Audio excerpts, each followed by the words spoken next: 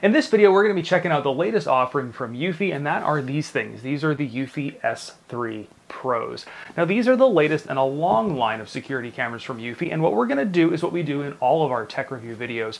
We're going to get these installed, we're going to show you the installation process so you know what you're in for if you do decide to get these, and then we're going to go over and really test them, show you how they work in all different conditions, and then at the end of the video we're going to go over all the pros and cons that we ran into so you can make an informed decision whether you want to spend your hard-earned money on these or not. Now, Full disclosure, because I like to be honest with everybody, I did get sent these from Eufy to review. Although, they're not giving me a script, they're not telling me what to say. I can say whatever I want, and if you've gone through my previous Eufy videos, I've done positive reviews and I've done not so positive reviews. Now, one thing I've noticed with these Eufy cameras, they keep getting bigger, and I'll show you, I've had a long line of these cameras around my house. These were the first ones that I had. They've gone yellow, because he's baked in the sun. Then, I had these, these are the first generation of the 4K cameras. And now we have these. These do have a lot of new features in it, so let's go over what Eufy's claiming, and then we'll see if it lives up to it. The first thing that they've really been marketing hard is the color night vision. And I've had other cameras with color night vision, and those cameras didn't perform that well with the color night vision. So we're gonna see if this thing holds up and if we get really nice resolution out of the color night vision. A lot of their newer cameras do have these spotlights on the front. This one has adaptive spotlights, and to be honest with you, I don't know what that means. So we're gonna find out. A big issue everybody complains about is false alerts with the cameras, and this thing is supposed to have a couple different ways to battle those. It has infrared, but it also supposedly has some sort of radar in it um, that will also help with false detections. We'll see how that works. It has all the AI and self-learning features of the previous cameras, and those are built into the Homebase 3. Um, so these cameras do require the Homebase 3 to function. So you can get them with the Homebase 3, or if you've already got one, you can also buy the cameras separately. And one of the nice things about having the Homebase 3 is inside this thing you can stick a hard drive, which comes in handy because these cameras supposedly do 24-7 recording if you have them hardwired, and you do have the option to hardwire them so that'll be nice because that's a complaint I've seen a lot with a lot of these other cameras is they only record events. They don't do loop recording. These ones should do loop recording onto the base station. There is also the option to power it with a remote solar panel. If you are mounting these in the shade, you can mount them up with one of these things. Now, if you want to follow at home, I will have a link down in the description in the pinned comment to this thing so you can check out all the specs on their website. And I will also, anytime I come across coupon codes or discounts, because they've always got sales going on, I will have those linked down below as well. But right now, let's get this thing installed. So I'm going to show you the install on this one. I'm actually going to connect two of them to the app so we can run them in the front yard and the backyard. So you start by hopping on your phone and downloading the Eufy app. Uh, if you already have your Homebase 3 installed, great. Otherwise, you're gonna have to go through the process of installing your Homebase 3 first. I do have that in another video, and I will have that link down below if you wanna check that out. But right now, let's get this thing installed. So with the Homebase already installed, we're gonna go into our app here and hit the little plus button, and then go down to battery cameras because this is a battery camera and we have at the very top of the list here the S3 Pro. Now here's the fun part. This thing has to be close to the base because it uses a tone to connect and the base is on the other side of my house. So come with me. Now my home base lives here inside my media cabinet. So what we're gonna do is we are going to say I'm already at the location. Press and the sync button until you hear the beep. Listen to the directions. There's a little sync button on the bottom. We're gonna push it. Heard the beep. Ready to add device. And if you can hear that little chirping in the background, that's it talking back and forth with the camera. Now the camera that's going in the backyard is going to be overlooking the pool and I'm reusing a mount here from the previous Eufy camera that was up here. And that camera is going to be directly looking at the pool and it's actually getting southern facing sun, so it should actually charge really well in this location. And the second camera is in my front yard. It's overlooking my courtyard. It's right up here.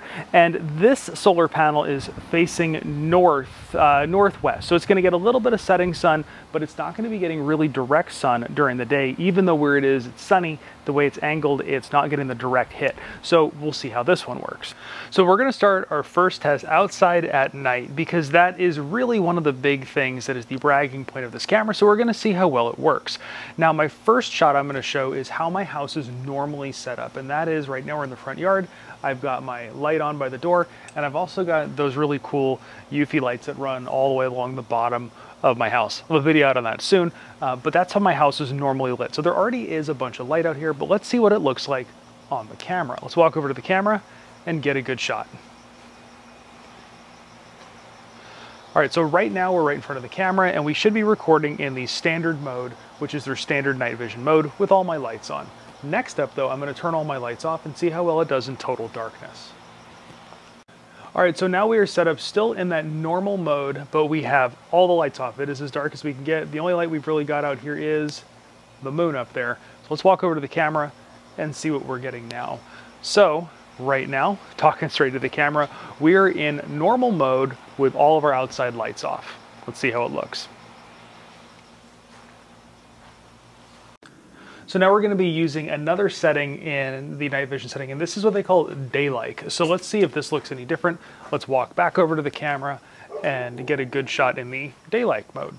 So now we're in daylight mode. Just got attacked by a bug there. So now we're in daylight mode. This is what daylight mode looks like. Let's walk back a little bit. You'll be able to see how well you can see my face in this mode. Next mode we're gonna play around with is spotlight mode. And I think spotlight mode should actually turn on the lights on this camera. Let's see what happens as we walk. Whoop, there we go. We're in the detection zone. Spotlights are on. These are actually really bright. Let me get a shot behind me here. It's lighting up the entire courtyard, but this is what spotlight, spotlight, I can't talk, spotlight mode looks like. Now the next mode we're gonna play around with is the night vision mode with IR. We're gonna do that in the backyard with the other camera that's set up. So this is night vision in infrared. So now I'm going to do what may be the second most important test other than the night vision test, which is how long it takes on my stopwatch to get an alert from when I move into the detection zone. So this will give you a really good idea when somebody walks up to the front of your house or wherever you have your camera, how long it'll take to get an alert. Now, I've gotten a lot of feedback saying I should do this not on Wi-Fi, which is how I used to be doing it. So I've turned off Wi-Fi. So this is as if you're not home, how long it'll take. So what I'm gonna do, I'm going to walk into the detection zone, and that happens right now. We're gonna start watching that timer. There's my alert. Um, I stopped it at four seconds, eight, eight, a little bit of lag. So I'm gonna say right around four seconds. And that honestly is really impressive. Um, I don't know why it's going faster. I'm gonna try it again on Wi-Fi. Maybe it's slower on Wi-Fi because that's one of the fastest times I've ever seen. Let's try it again on Wi-Fi. Okay, so second attempt, we're on Wi-Fi. Just, you know, my Wi-Fi at my house is hot garbage. So we're gonna start the test right now. And there's that alert. And maybe a second longer at 5.6 seconds when I stopped it. So rounded down because it took me a little bit of time, five seconds. Also really impressive. A lot of times I see seven, eight, and nine seconds. So whatever the camera is doing, it seems to be a little bit quicker, or maybe my Wi-Fi is just having a good day. But um, six seconds, five seconds for that, and four seconds when I was on my uh, LTE. And I have 4G, not 5G for wireless, just for you following along at home. Now, another security feature of these cameras is that you can talk back and forth through the camera. So if there's somebody at your front door or somebody in your yard that shouldn't be, you can talk to them. So now we're gonna walk up to the camera so you get a good idea of exactly what the quality of the audio is coming into the camera and if you can make out the person that's talking to you through the camera.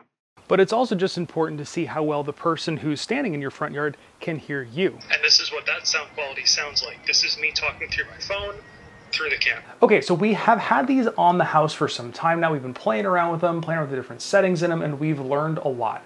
And we've also still had the other Eufy Cam 3s on the house. These are the pros. So what I want to do now is I want to go over kind of the key points of the new camera and kind of talk about whether we were hit or miss on those points. And the first point is it's a 4K camera. So were their older ones. Um, and before that, they were 2K. So they've always had pretty good image quality, all the cameras that I've had. And this thing, no slouch. It's a 4K camera, and the image quality during daylight hours is the same as the 4, sorry, the Cam 3. What I did notice with this one though is at nighttime. That's where the big difference was. Um, this thing has a better sensor at night and it gets you that color night vision if that's something that's important to you. What is really nice about the color night vision is with some of the other ones, you either have to have a white light turn on or an infrared light turn on. And when the infrared light turns on, you get black and white. When the white light turns on, you obviously have a white light. The nice part about the color night vision is it can do it without a light. So if you don't want people knowing that the cameras have lit them up, then you don't have to do that. If you want to use that as a security feature, you can. But what I did notice was you do still suffer some of the graininess that I've seen in other color night vision cameras. If you're a camera nerd like me, you understand like f-stops and apertures. This thing has a wider aperture than that. These suckers are a 1.4, this is a 1. Basically, the smaller the number, the bigger the aperture. Think of it like your eyeball. It gets bigger, lets in more light. So this thing does eat more light than those cameras do, so it does do a better job than low light because of those things. Now I said at the beginning of the video, I didn't know what the adaptive spotlight was, but I figured it out. And another problem that some of the other spotlight cameras have is when that spotlight turns on, it blows the image out. So if somebody is walking up and they have a white t-shirt on, or there's a license plate and it's a white license plate, or I live through white, it would blow that out. It would make it too bright and the camera wouldn't pick it up. These ones, it'll actually adjust how bright those LEDs are so it doesn't blow out the highlights, which makes identifying somebody a lot easier. The other thing I wanted to test was the detection range of this thing. And you noticed when I was walking into the courtyard on that timing video, I started my stopwatch right when I came around the corner. Now, on my other cameras, on this one, and on this one, it didn't pick me up and start recording until I was about 15 feet into the courtyard. What I noticed with the footage was this one was detecting me as soon as I rounded the corner.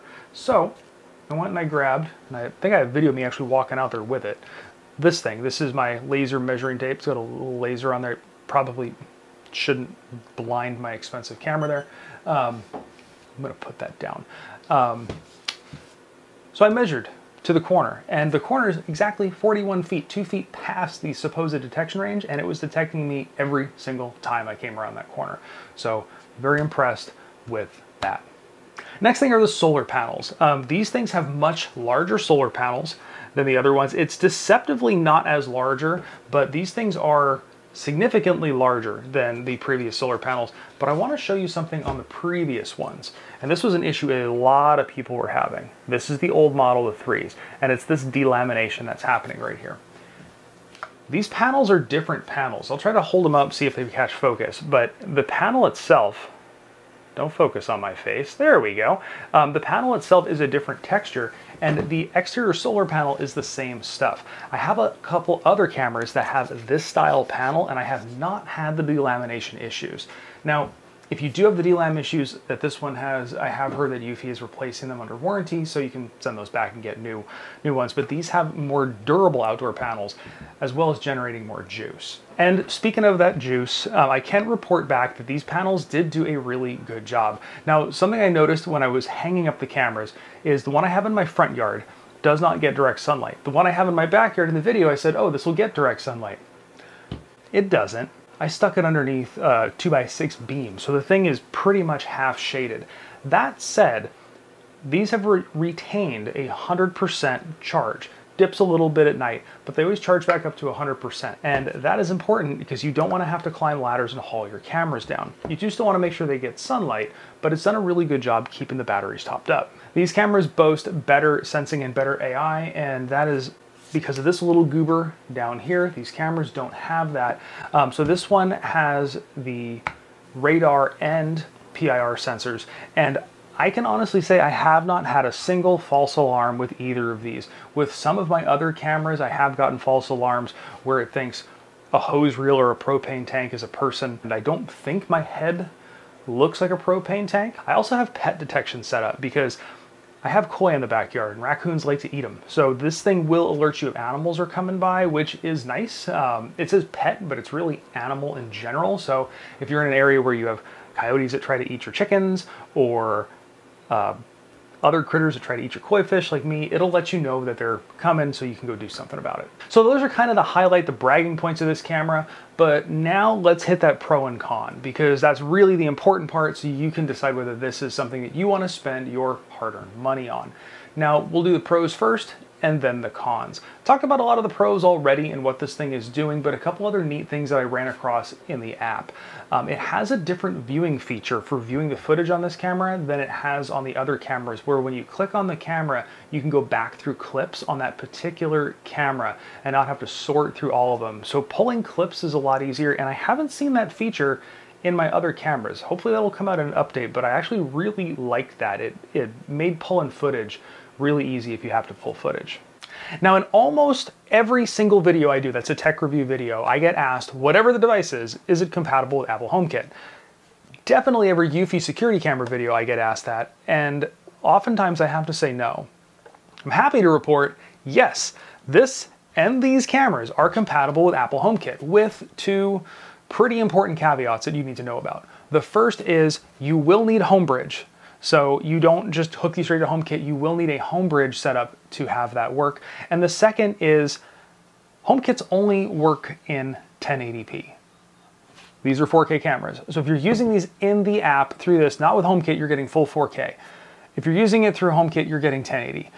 I don't know why. Uh, the last time I had 1080 cameras on the house were 10 years ago or something like that.